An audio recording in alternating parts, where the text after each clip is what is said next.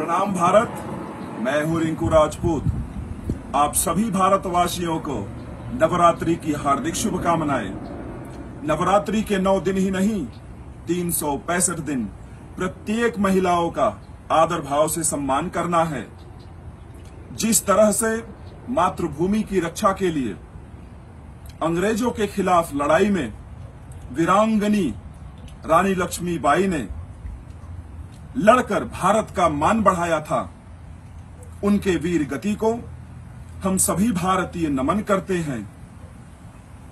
अगर बात शिक्षा क्षेत्र की की जाए तो भारत की पहली शिक्षिका सावित्रीबाई फुल्ले ने लोगों के कठोर निंदा सहकर बेटियों को शिक्षित बनाया और इस काबिल बनाया कि आज भारत की बेटियाँ पुरुषों से कंधे से कंधा मिलाकर भारत के विकास में देश का साथ दे रही हैं।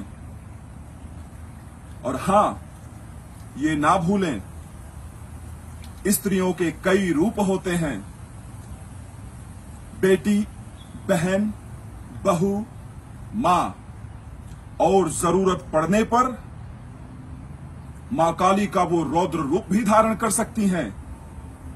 मैं माँ शेरावाली से यही प्रार्थना करता हूँ कि हम सभी भारतवासियों को और ऊर्जा प्रदान करें, जिससे हमारा देश और शक्तिशाली बने। जय माता दी।